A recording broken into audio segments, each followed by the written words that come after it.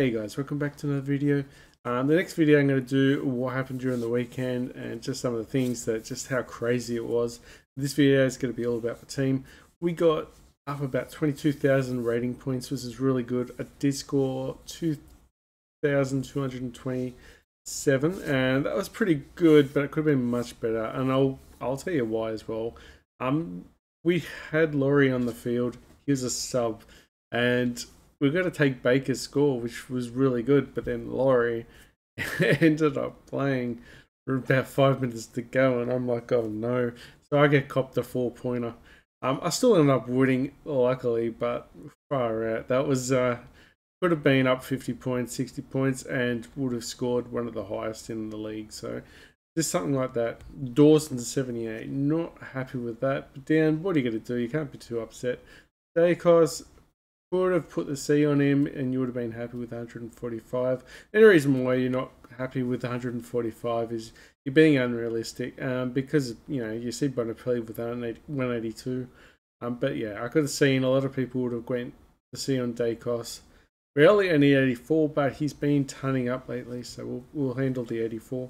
Michelini, 50 only. It could have been a bit more than that. More, more the merrier because they're trying to get as much cash out of him as possible. So I was really wanting an 80 plus this week, but he failed. Uh, Wilmot, uh, the cash is drying up here. So that's going to hurt him. He's going to start being on the chopping block with many teams now. Lucky Jones, uh, Liam Jones, only 53. So, uh, yeah, he's another one. Just creeping up in money, but not much. And Cohen, only 35. So he's he's drying up too now. Um, but he's a slow burn, so we probably just keep him. He hasn't made enough money to cash out. Uh, Bontempelli VC, if you VC'd him, pat yourself on the back. You've done really well. Um, we all felt really good about Friday night, didn't we? We, we all scored, we could score 2300, 2400 plus. Uh, Lachie Neale, 76. He just had to, you know, he's fun at parties, what can I say? 76, fire out. Uh, Macrae, 131. That was the Friday night special. Uh, Josh Kelly, 139. Very happy with. I was so right about getting him instead of Tom Green. Many people are now are finding out that Tom Green wasn't the guy that they thought. Um, I did say that preseason. I thought he was a little bit young, and I thought they'd go uh, use Josh Kelly through the center.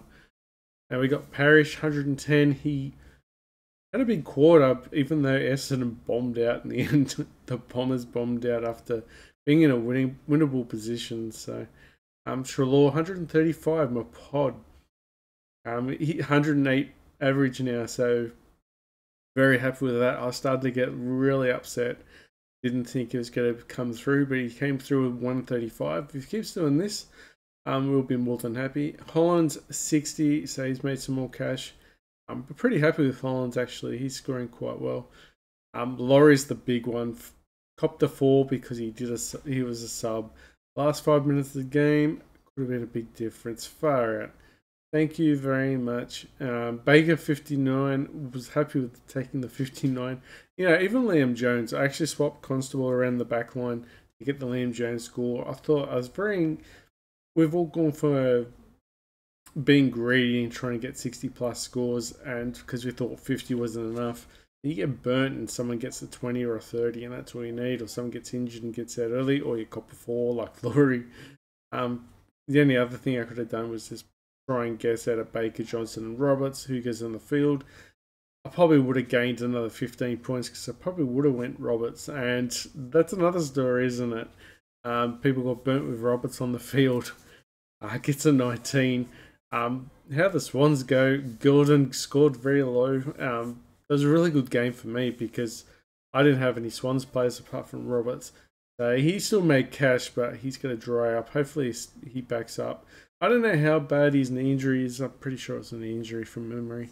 Uh, Johnson 35 just creeped in there. Not really much. Probably want more from that. Uh, Darcy 137. So Shrek is in form. He's actually helping us out. Marshall, what the hell is he doing? Can't wait for him to trade to Gawn. So we're all waiting for Gawn to drop in value. Um, whether or not it's this week or not, it's just all about his break even to get under 120 or 100, and then we'll go from there. Um, Dunkley 104, so very happy with that. Taranto, everyone's got 144. Zeeble 111, very nice. Now, this this week mainly my defense line struggled this week. You know, Dunkley, he will all fired up. So, um, Sheezel, 53. He was a keeper. Do we still keep him? I'm not sure. We'll have to um, reassess and see his break even. If it's if it's really high, it might be even worth checking up to see how um, we could train him out. Maybe. Uh, JHF, you know, Francis, 45. Um, he's even lost cash. So he's going to be on my trade table this week. I'm going to get rid of him. Uh, F Green, 77. More than happy with this guy. He's uh, really scoring quite well. Van Rooyen, you know, start started fourth quarter. I think he was on like 20 or 30 points and then bags three goals. so he was on fire. He was just uh, marking the ball all the time. And Davey, 44, just creeping up in little cash. So really needed Van Rooyen's score. That was incredible in the comments, let me know how you guys went. Are you happy with how you scored? I mean, how much of a headache it was this week.